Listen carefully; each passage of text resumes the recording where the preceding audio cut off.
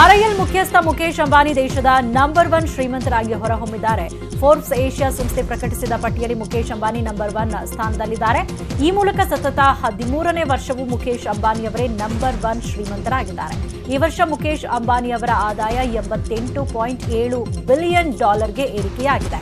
ಪಟ್ಟಿಯಲ್ಲಿ ಗೌತಮ್ ಅದಾನಿಗೆ ಎರಡನೇ ಸ್ಥಾನ, ಶಿವನಾಡರ್ ಮೂರನೇ ಸ್ಥಾನದಲ್ಲಿದ್ದಾರೆ.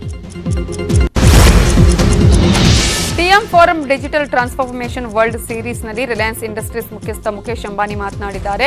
ಟೂ ಜಿ ನೆಟ್ವರ್ಕ್ ನಿರ್ಮಿಸಲು ಭಾರತೀಯ ಟೆಲಿಕಾಂ ವಲಯ ಇಪ್ಪತ್ತೈದು ವರ್ಷಗಳ ಅವಧಿಯನ್ನು ತೆಗೆದುಕೊಳ್ತು. ಆದರೆ ರಿಲಯನ್ಸ್ ಜಿಯೋ ಕೇವಲ ಮೂರು ವರ್ಷದಲ್ಲಿ ಫೋರ್ ಜಿ ನೆಟ್ವರ್ಕ್ ನಿರ್ಮಿಸಲು ಯಶಸ್ವಿಯಾಗಿದೆ ಅಂತ ಮುಖೇಶ್ ಅಂಬಾನಿ ಹೇಳಿದರು. ಈ ನಾಲ್ಕು ವರ್ಷಗಳಲ್ಲಿ ಭಾರತವನ್ನು ವಿಶ್ವದ ಅತಿ ಹೆಚ್ಚು ಡೇಟಾ ಬಳಕೆದಾರರ ರಾಷ್ಟ್ರವನ್ನಾಗಿಸಲು ಜಿಯೋ ಪಾತ್ರ ಮಹತ್ವದ್ದು ಅಂತ ಅಂಬಾನಿ ಹೇಳಿದ್ದಾರೆ. ಟೆಲ್ಕೋ ಈಗ ಭಾರತದಲ್ಲಿ ಫೈವ್ ಜಿ ಸೇವೆಗಳನ್ನು ತರಲು ಸಿದ್ಧವಾಗಿದೆ ಅಂತ ಮುಖೇಶ್ ಅಂಬಾನಿ ಹೇಳಿದರು. In, we must invest in building next generation technology assets. We must root out inefficiencies across the digital physical ecosystem.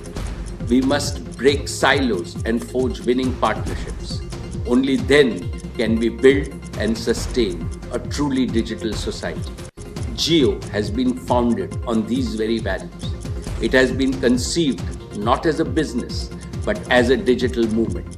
It is on a mission of making digital life a reality for 1.3 billion Indians.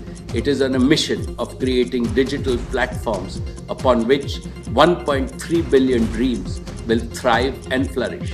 It is committed to playing a leading role in India's transformation into a digital society and one of the leading digital economies in the world.